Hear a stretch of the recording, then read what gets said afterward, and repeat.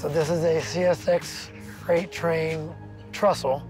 It's part of the Beltline route, and it's active freight train route as well. I happen to be a freight train conductor for CSX, and this is the route that I run. Run about 20, 30 trains a day, and actually, there's a train coming now. Really? Yeah. Yeah.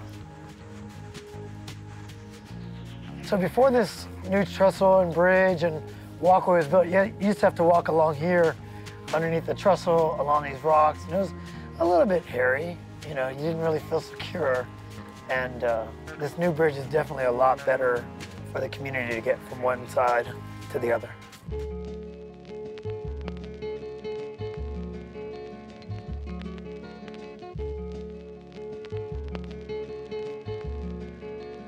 My name is Angel Luis Poventud, and I lead tours all over the Beltline.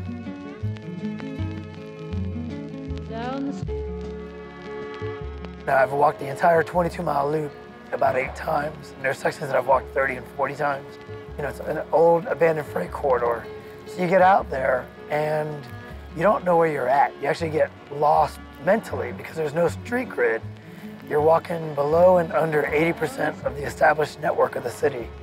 The corridor is about 22 miles around, and so there's different sections that you walk through that are wooded, industrial, raised, lowered, swampy, dry.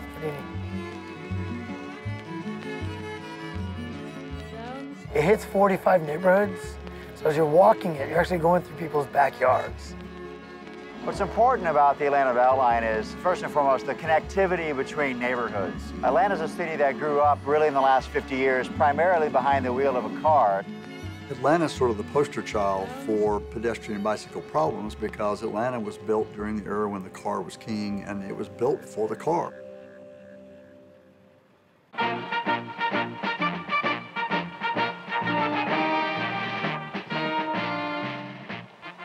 All the buildings and roads and the cars zooming back and forth, all crisscross in every which way. Mommy says nobody walks the streets of downtown Atlanta anymore. You're either riding in a car or walking across the bridge between the buildings and the sky. It is horrible, the traffic in the city of Atlanta. People have seen that and they understand that. So now you've got people moving back into the city, wanting to live into the city, wanting to live into communities that they can get around in. The infrastructure in Atlanta did not include sidewalks for years and years and years. You, you could develop a whole community, thousand homes, and not build one foot of sidewalk. It's been a long time since we built in a grid pattern. Most, most uh, Atlanta, at least, is, is developed by cul-de-sac. So you wouldn't necessarily get to know the people in the cul-de-sac next to you. What our trails have done is utilize that green space in between all these cul-de-sac neighborhoods and people pour out from all the different cul-de-sac neighborhoods and begin to socialize and begin to walk together. But we feel like it's been a healthy thing from a mental standpoint as well and, and getting uh, people to, uh, to neighbor more, if you will. The Atlanta Beltline is arguably the most ambitious and comprehensive urban redevelopment project in the country right now. And what it's doing is taking four different historic freight railroad corridors known as belt lines 100 years ago and piecing them back together into a loop around the city of Atlanta connecting 45 different neighborhoods via transit, parks, trails, affordable housing, art, and even a linear arboretum.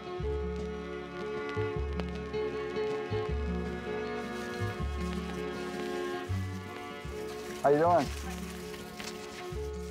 We're on the South Peachtree Creek Trail. And all these leaves came down in yesterday's rainstorm. It usually, it usually is blown off a lot better than this.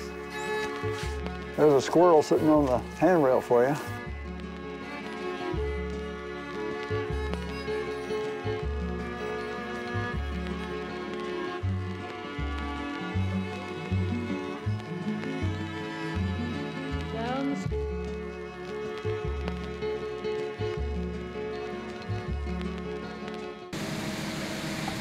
This park is one of our larger parks that we are building along the Beltline. And you're gonna be able to walk on the Beltline to this park, not crossing any streets.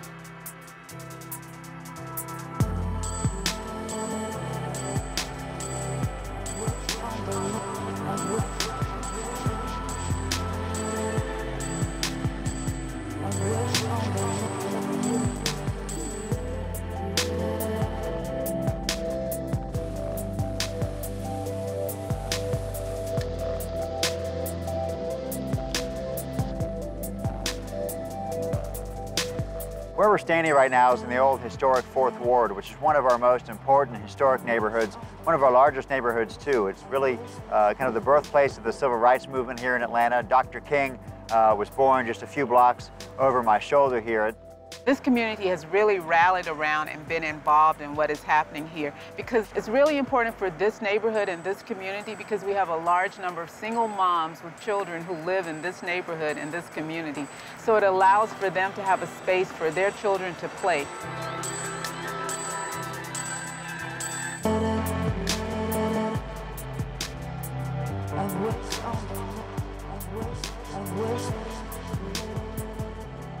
This section that we're standing in was industrial and not used. I mean, it was a, a no man's land in a lot of ways. Fences, kudzu, a forgotten space. We're coming up on one of my favorite parts of the park, and there's um, a, it's kind of a cove with rocks that are built to sit on, lay on. I'm actually gonna show you my favorite rock.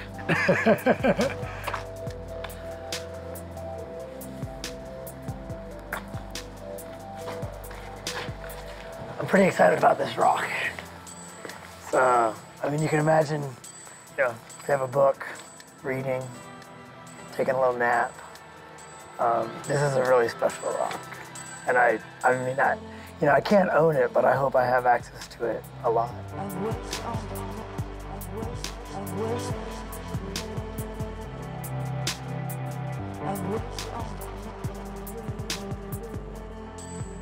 As we come around to this southern end of phase one of Fourth Ward Park, there's a stage area and seating that will hold between three to 500 people.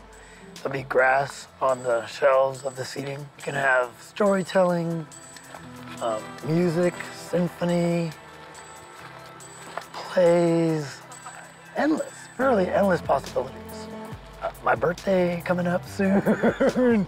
I mean, I, this is, you know, this is where we're gonna want to be. This is, this is a park. It's a game changer. You know, it's, um, it changes what people are gonna expect from the city in parks as we move forward. A very good friend of mine told me once that when we move at faster than walking speed, we're not actually processing what's going on around us. If you think about driving in a car or flying in an airplane, and you get to your destination, your brain's still trying to catch up because your mind can only process at three or four miles an hour. That's what we've been doing for all of our existence as humans.